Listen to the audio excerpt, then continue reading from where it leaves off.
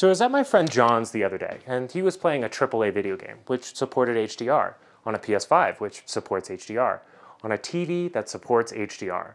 But he had HDR turned off because it just didn't look good.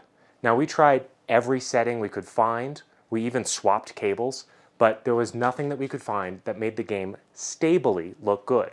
It would look good in sections, but then you'd play the game and the scene would change and it would look awful. Raise your hand if you've had a similar experience. Actually, don't bother, I can't see you. But as we talk to creators about making HDR videos, we find that this is usually the blocking issue. They find HDR will look worse on a device than SDR would, and they don't know how to fix it. I believe there's a simple reason at the heart of this. HDR is too powerful, and to make it useful for people, we have to make it less powerful. You might have seen a chart like this. It shows that SDR has a small luminance range, that HDR has a bigger one, but that the human eye's dynamic range is just astounding. In perfect conditions, a human can see bursts of as little as 10 photons at the lowest end, and compared to a full daylight, that's a trillion to one contrast ratio. Now that's true, but misleading. The chart gives the impression that HDR isn't nearly powerful enough. But the thing is, the human eye can't see this all at once. The instantaneous range is about here, 10 stops, or a 1000 to 1 contrast ratio, about the same as a modern SDR display. To go from here to here is a chemical process called dark adaptation, and it can take hours. Natural scenes have a contrast ratio that significantly exceeds that 1000 to 1 number. So if your eye can't see all that contrast, how is it capable of taking in a vista like this? And for that matter, how can you see it on your SDR screen without a bunch of obvious clipping? Well, the startling answer is you don't actually see the scene, not directly at least. You hallucinate it. Here's a classic optical illusion. You can see that the patch of color labeled A is a very different color than the one labeled B. But if you connect the two, you see that they're the same physical intensity. This illusion shows us a few things about the human visual system that are confirmed by research. First, our brain isn't a measurement instrument. It's built to tell us not what's real or what's accurate, but what we need to survive. The predictive processing model is a compelling model of neural organization, and it suggests, as far as I can tell, that we're basically hallucinating our entire experience all the time. What we see is what we think we see. It's just a prediction. Our sensory inputs guide that prediction, but they don't impact what we see directly. It's all through the model. Second, the brain isn't even trying to model absolute luminance values. It's trying to model objects and their properties. The reflectance values of objects have a dynamic range that's much lower than the absolute luminance values that you find in natural scenes. Most of the world just isn't vantablack and disco balls. If you find an object that we perceive of as black, it usually has a reflectance value in the neighborhood of 5%. Third, the brain has a really strong opinion of the way light and shadow works. The eye doesn't even see in absolute terms the information that the optic nerve transmits is actually contrast information at a local scale.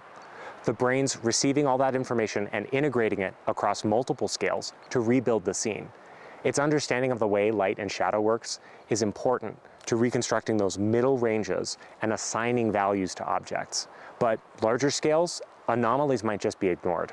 I want to highlight that this is just bits of one theory of how human vision works, and the science here is far from settled we know our models of vision are incomplete. At the micro benchmarking level, different models make falsifiable predictions, and no model is perfect at explaining everything. Also, I'm not an expert in any of this. I'm just summarizing papers I read. Still, there's enough consensus here to make useful conclusions for video engineering. For instance, here's a photo I took in RAW. Sorry, it's not actually a video, long story. Both the trees and the distant valleys in this scene were clearly visible in person, but in the photo the trees are too dark. But apply an operator over a big enough scale and you can rebalance the scene to tell a better story, even if it's less literal. Your brain doesn't notice the big distortion line because it doesn't map to a physical explanation. Similarly, your brain is so eager to believe in physical things that even tremendously sloppy interventions that look like they could be the result of real light get accepted. HDR is capable of reproducing a larger dynamic range than SDR, obviously, and so you could choose to convey the same scene with less dynamic range compression. But there are downsides to being more literal about how you grade a scene. The first one is on a screen, the viewer's eye is immediately drawn towards bright spots. I haven't seen research papers on this, but my experience is that there's something about an emissive display that makes a viewer immediately go stare at a sun in a way that they would never do outside. And this is worse in HDR. Maybe it's the fact that everything's in the same focal plane, maybe it's the sheer nature of an all emissive scene, which isn't something you ever find in nature. But if your goal is to try and tell a story, it's very disruptive to have random surfaces throughout your scene, pulling the viewer's eye away from the intended subjects. Another thing you can do in HDR in a way that's more realistic, but way more annoying, is to transition from a bright shot to a really dark one. For one thing, the eye takes a few seconds to physically adapt to lower light, and that's just for the quick stuff like dilating the pupils. That doesn't count the chemical stuff. And if the viewer's in a brighter ambient environment, the image is going to be washed out by reflectivity on the display. But even worse than that is going from really dark to really bright, because that kind of transition can be physically painful. And this talk is an SDR, so you gotta just trust me. If you really punch it in HDR, you can actually make the audience physically flinch. Is inflicting pain on your viewers considered immersive? Absolutely.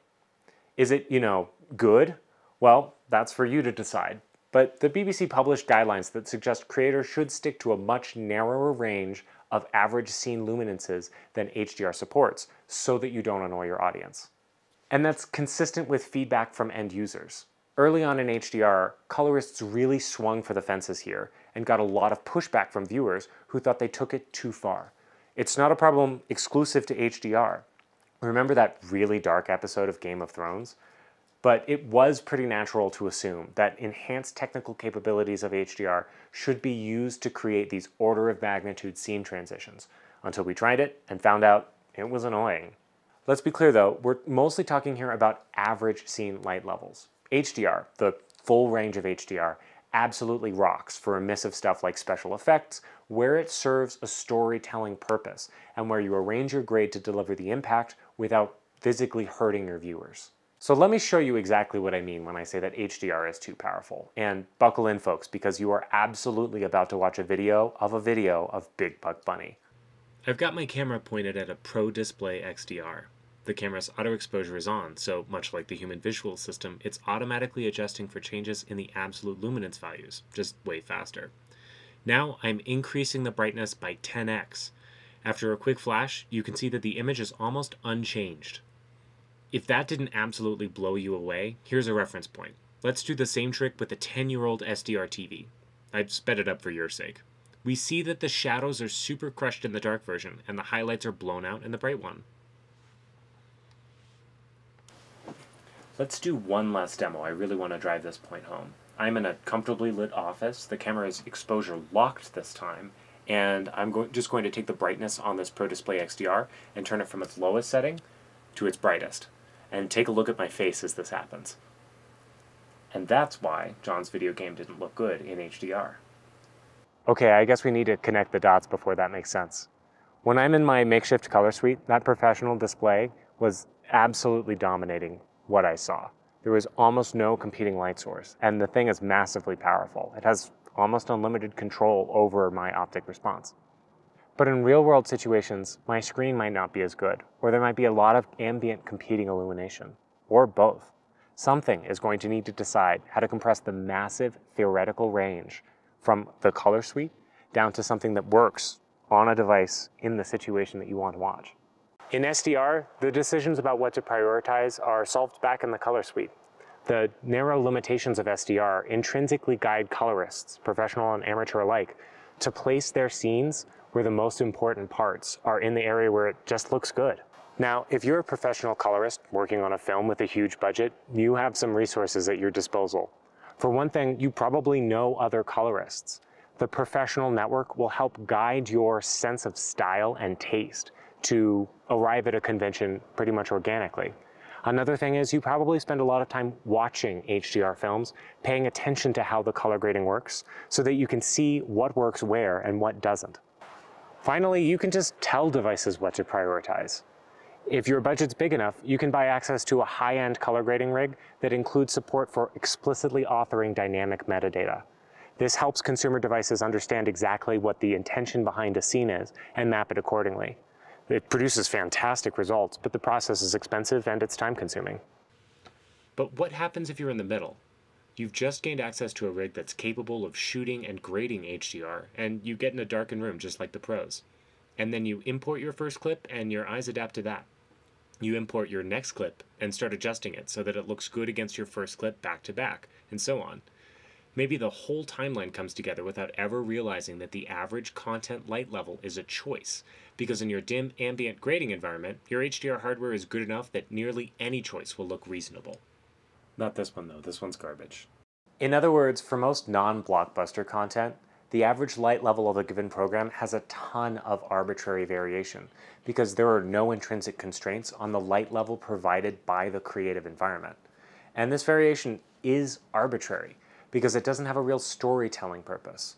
We've already talked about how audiences don't enjoy big abrupt changes in brightness, so you don't need to plan out a ton of headroom for 10x variations. And you don't need to reserve space for uncomfortably bright clouds and sunsets and stuff, because being natural can distract from storytelling. So anywhere your content fits within the color grading display's capabilities, one choice will appear just as good as another. But so much viewing happens in conditions that are less than ideal. In HDR without dynamic metadata, right now it's left up to the display to just guess what is the most important part of that massive HDR histogram and adjust the rendering to prioritize that region. Different displays do this in different ways. Some of them apply relatively simple rules regardless of content, and these tend to be pretty stable. But a lot try to cook up a content adaptive approach. They look at a histogram of the last few seconds of video, use that to make a guess as to what the most important parts of the histogram are, and then adjust their local tone mapping to prioritize it. This is often called dynamic contrast. But the problem for a creator is this algorithm is constantly fighting you.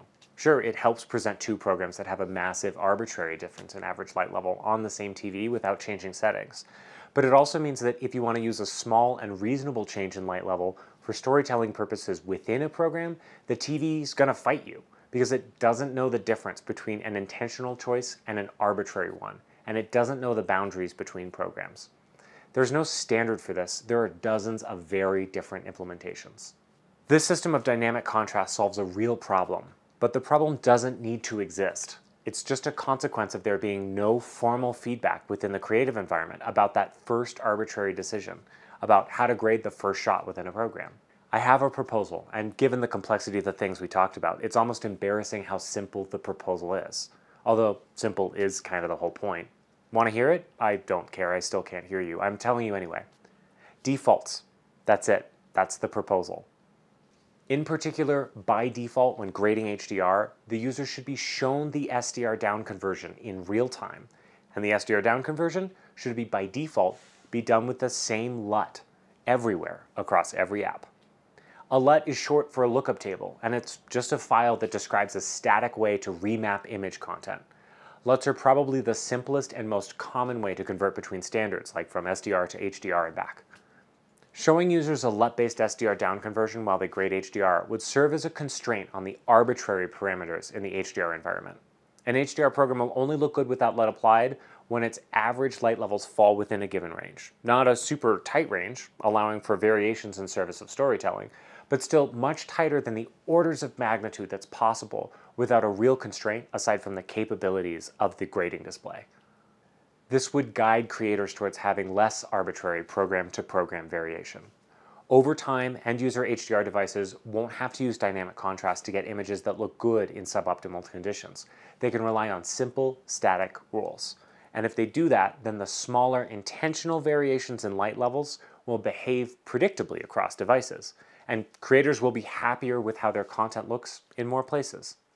Whether a user sticks with the default LUT, chooses from some other presets that have similar implicit expectations of the HDR tone range, or just swaps in a custom one, they can send that LUT to, say, streaming platforms, embedded within the HDR video file.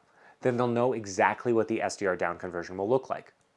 Over the years, these defaults will spider out to different parts of the HDR ecosystem, like the auto exposure in phone cameras that shoot HDR and the shaders used in video game engines.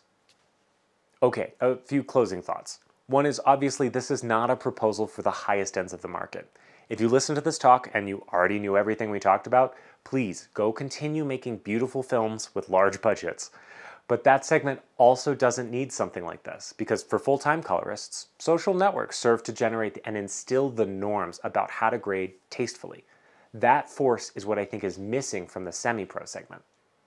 Second, the actual proposal is just one way to try to guide users toward producing better HDR. Product folks, if you've got better ideas, please go implement those. Also, this kind of intervention will take years before it has a complete effect. A TV maker probably won't be able to fully disable dynamic contrast, even if this strategy gives room for it to be less aggressive over time. But HDR is here to stay, and as it stands, it's way too difficult to implement HDR and make it both predictable and beautiful across all current content using a stack of purely open technologies. Hopefully, a simple intervention like this can help. Thank you.